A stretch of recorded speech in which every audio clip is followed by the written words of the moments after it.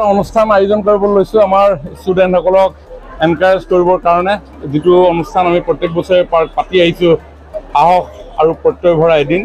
এই day of courage and achievement dreams to reality আৰু এই অনুষ্ঠানটোৰ কাৰণে এবাৰ আমি বক্তা হিচাপে নিমন্ত্ৰণ জনাইছোঁ জনসমাদৃত এগৰাকী মটিভেটৰ শিৱ খেৰা ডাঙৰীয়াক।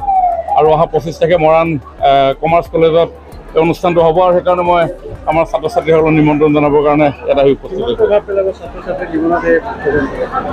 চাওক প্ৰত্যেকটো বস্তুৱে প্ৰভাৱ পেলায় আমাৰ ঘৰুৱা আচাৰ আচৰণৰ পৰা সামাজিক শৃংখলাবোধৰ পৰা আৰম্ভ কৰি প্ৰত্যেকটো বিষয়ে আমাৰ জীৱনত নিশ্চয় প্ৰভাৱ নিশ্চয় বিস্তাৰ কৰে আৰু যেতিয়া একো একোজন সফল ব্যক্তিয়ে তেখেতসকলৰ জীৱনৰ অভিজ্ঞতা বৰ্ণনাৰে খুব সুন্দৰ ৰূপত উপস্থাপন কৰে নিউ জেনেৰেশ্যনৰ মনত নিশ্চয় ৰেখাপাত কৰে আৰু সেইকাৰণে আমাৰ বিনম্ৰ প্ৰয়াস নতুন প্ৰজন্মক আমি তেনেধৰণৰ চিন্তাৰ আধাৰত এখন পাৱাৰফুল শক্তিশালী সমাজ শক্তিশালী অসম শক্তিশালী ভাৰত যাতে আমি নিৰ্মাণ কৰিব পাৰোঁ।